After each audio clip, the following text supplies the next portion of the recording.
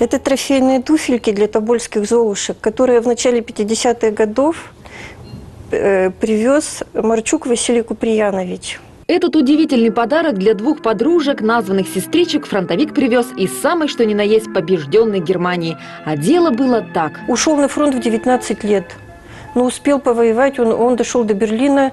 Э, Это ог- огромный, э, кра- красивый парень был, которого забрали почему-то в танковые войска. В боях успел получить два ранения и медаль за отвагу. В родной Галышмановский район вернулся с победой. Туда же для прохождения педагогической практики была направлена и Галина. Она-то и запала в душу Василию Марчуку, а он ей и подавно. Она описывала, как зашел красивый, высокий, он кудрявый был, голубоглазый. Ну, в общем, там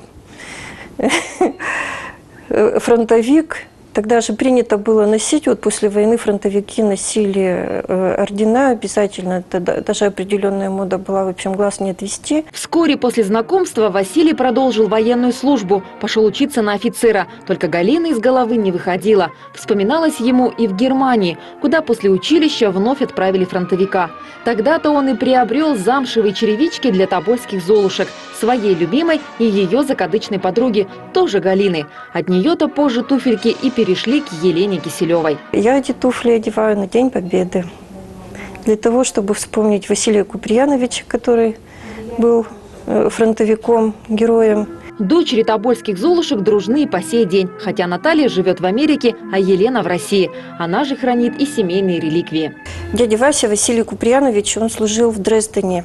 И они привезли оттуда очень много красивых вещей, одна из которых сейчас хранится у меня. А замшевые туфельки ждут своих новых хозяек, ведь у тобольских золушек подрастают правнучки, которым трофейный подарок может оказаться в пору. Наталья Жукова, Роман Чинахов, Тюменское время.